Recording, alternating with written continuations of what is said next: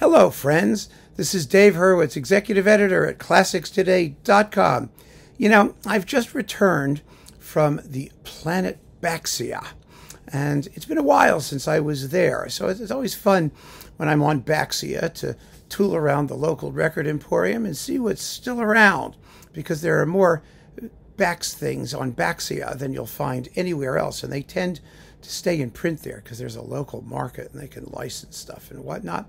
And I saw this wonderful disc. I have to say one other thing. I had an absolutely marvelous, marvelous meal of bangers and mash on Baxia because the Baxian bangers are better than anyone else's bangers. So if you want a banger, go to Baxia. I'm just telling you right now. Anyway, after that, um, I found this sitting around um, in a a cutout bin. I, I hope it's still available here. I didn't check, but it was there were dozens of them on Baxia. Um, they probably scooped up the remaining supply here in the in, in the the rest of the uh, you know other non-Baxian planets. Let's put it that way. And you get some really fascinating chamber works. Hello, Finster. I know she missed me. She really missed me. Hi. How you doing? You want to come back over here on your spot? No, you want to just sit there and stare. Okay. So anyway, Finster is here. I just can't resist. There she is. Right. Isn't this fun? Yeah, you can see yourself there. Huh? Amazing, isn't it? Okay. So anyway, let's let's let's get back to this, shall we? This is chamber music. Bax was not known for his chamber music. Uh, and I can understand why, because so much of his musical allure um, depends on his handling of a large and colorful orchestra with lots and lots of instruments, and also on the fact that stylistically, uh, you know, he's he's one of those composers who's constantly evolving his material. It seldom comes back the same way twice, and so if you can present it in new coloring, that tends to keep things interesting, even if you have no idea what he's doing. And uh, when you're doing chamber works, well, it's a little bit more complicated because the, the, the timbres are more monochrome and you have fewer options to try and convey a sort of large scale vision or at least distract people to, so that they believe that that's what you're doing. Anyway, whatever. I have to be nice because the Baxians are just such charming people. And this is a wonderful disc featuring the Academy of St. Martin in the Fields Chamber Ensemble and Chandos with Margaret Fingerhut. Yeah, it's great being a pianist with a name with finger in your last name. It's so appropriate. He's a finger hut, finger works, finger job. Never mind. I want to go there. Uh, okay, so first we have the octet.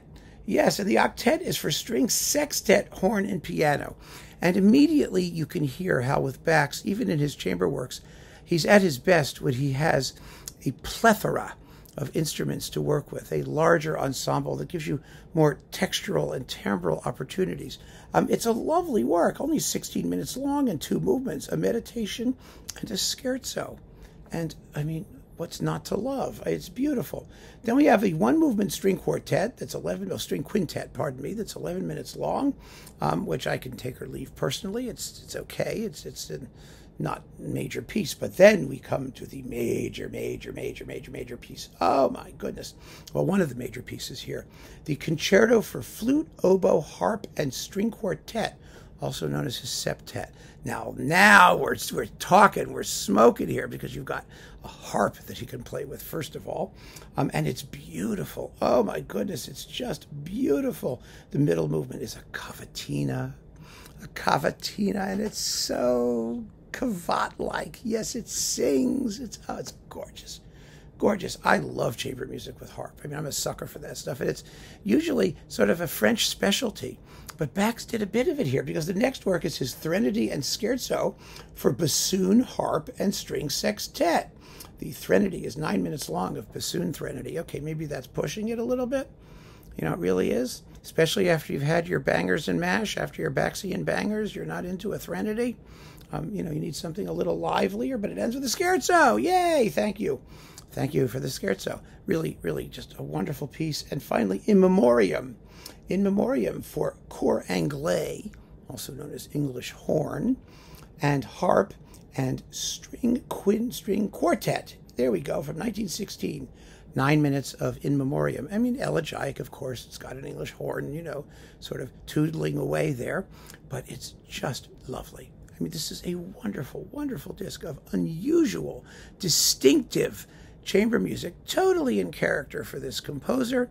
Um, the sonics are marvelous. If you could find it, you really may want to give it some thought because it's just terrific. So keep on listening, friends. Thanks so much for joining me and try those Baxian bangers. You're going to love them. Take care.